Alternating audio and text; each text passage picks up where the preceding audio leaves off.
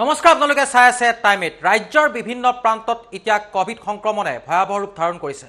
তাৰ মাজতে এইবাৰ শিৱসাগৰত আঠগৰাকীকৈ ব্যক্তিৰ দেহত পোৱা গ'ল কভিড আৰু এই বিশেষ খবৰটো দিব লাগিছোঁ টাইম এইটৰ প্ৰতিগৰাকী দৰ্শকক। শিৱসাগৰত পুনৰ কৰোণাই মেলিছে জাল।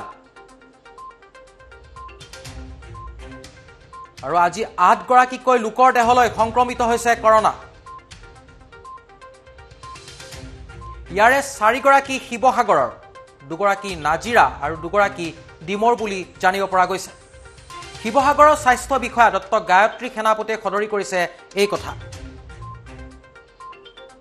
আৰু সকলোকে মাস্ক কভিড বিধি মানি চলিবলৈ আহ্বান জনাইছে প্ৰশাসনে। পুনৰ জনাইছোঁ টাইম এইটৰ প্ৰতিগৰাকী দৰ্শকক এই মুহূৰ্তৰ এই বিশেষ খবৰ। আজিৰ দিনত শিৱসাগৰ জিলাত মুঠ আঠজন লোক কভিড পজিটিভ বুলি চিনাক্ত কৰা হৈছে। আৰু জিলাখনত বৰ্তমানে চৌব্বিছগৰাকী কভিড নাইণ্টিন পজিটিভ ৰোগী থকা বিপৰীতে চাৰিগৰাকী কভিড মুক্ত হৈ ঘৰলৈ যাব দিয়া বুলি জানিব দিয়ে স্বাস্থ্য বিভাগৰ তৰফৰ পৰা। আৰু ইতিমধ্যে কৰোণাৰ দ্বিতীয় ঢৌৱে সমগ্ৰ দেশতে ত্ৰাসৰ সৃষ্টি কৰিছে। তাৰ মাজতে ৰাজ্যৰ বিভিন্ন প্ৰান্তত এতিয়া কৰোণাৰ সংক্ৰমণে ভয়াৱহ ৰূপ ধাৰণ কৰিছে।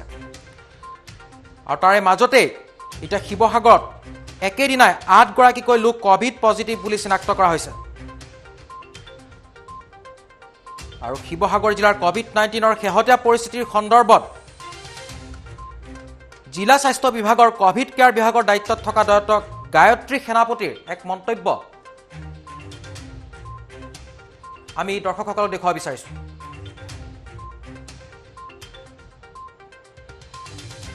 এক্টিভ কেছ আছে দহজন কিন্তু আজি প্ৰায় আঠজন ওলাইছে কেছ দুজন দুজন হৈছে ডিমৌৰ।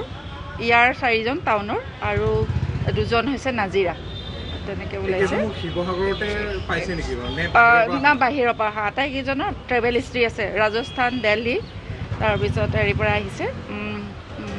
তাৰ পৰাই আহিছে। আৰু শ্বিলঙলৈও গৈছিলে দুজন। কণ্টেইনমেণ্ট কৰা হৈছে।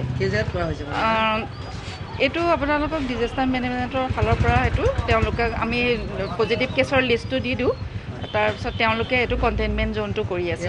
মানে আপোনাৰ হোম কোৱাৰেণ্টাইন কেইজন হৈছে আপোনাৰ? হোম কোৱাৰেণ্টাইন বাকীকেইজন আটাইকেইজন আজি কেইজনো হোম কোৱাৰেণ্টাইনেই হৈছে আৰু আগৰ সেই দহজনো সেই হোম কোৱাৰেণ্টাইনত আছে। ষোল্ল ষোল্লজন হৈছিলে হয় হয়।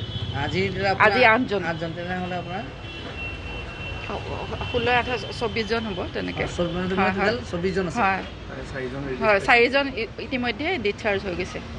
ইতিমধ্যে শিৱসাগৰত এশ চৌৰাল্লিছ ধাৰা জাৰি কৰিছিলে প্ৰশাসনে আৰু তাৰ মাজতেই এতিয়া একেদিনাই আঠগৰাকীকৈ লোক কভিড পজিটিভ বুলি চিনাক্ত কৰা হৈছে। আৰু উদ্বিগ্ন হৈ পৰিছে স্বাস্থ্য মহলৰ লগতে প্ৰশাসনো। কিয়নো কভিড কভিড সংক্ৰমণৰ সংখ্যা দিনে দিনে এতিয়া বৃদ্ধি পাবলৈ ধৰিছে ৰাজ্যৰ ভিন্ন প্ৰান্তত। আৰু পুনৰ জনাব বিচাৰিছোঁ টাইম এইটৰ প্ৰতিগৰাকী দৰ্শকক শিৱসাগৰত এশ চৌৰাল্লিছ ধাৰা ইতিমধ্যেই জাৰি কৰা হৈছিলে কিন্তু তাৰ মাজতেই এইবাৰ আঠগৰাকীকৈ লোক কভিড পজিটিভ বুলি চিনাক্ত কৰা হৈছে আৰু জিলাখনত বৰ্তমানে চৌব্বিছগৰাকীকৈ কভিড নাইণ্টিন পজিটিভ ৰোগী থকা বিপৰীতে চাৰিগৰাকী কভিড মুক্ত হৈ ঘৰলৈ যাব দিয়া বুলি জানিব দিয়ে স্বাস্থ্য বিভাগৰ তৰফৰ পৰা।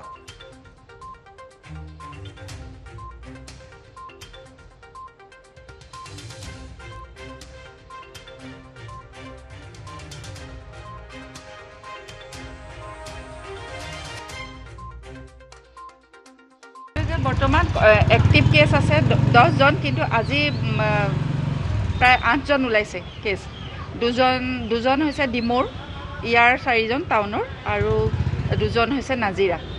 তেনেকৈ ওলাইছে। নে বাহিৰৰ পৰা? অহা। আটাইকেইজনৰ ট্ৰেভেল হিষ্ট্ৰী আছে। ৰাজস্থান দিল্লী তাৰপিছত হেৰিৰ পৰা আহিছে। উম, উম, তে- তে- তাৰ পৰাই আহিছে। আৰু শ্বিলঙলৈও গৈছিলে দুজন। কণ্টেইনমেণ্ট কৰা হৈছে। এইটো আপোনালোকক ডিজাষ্টাৰ মেনেজমেণ্টৰ ফালৰ পৰা এইটো তেওঁলোকে আমি পজিটিভ কেছৰ লিষ্টটো দি দিওঁ।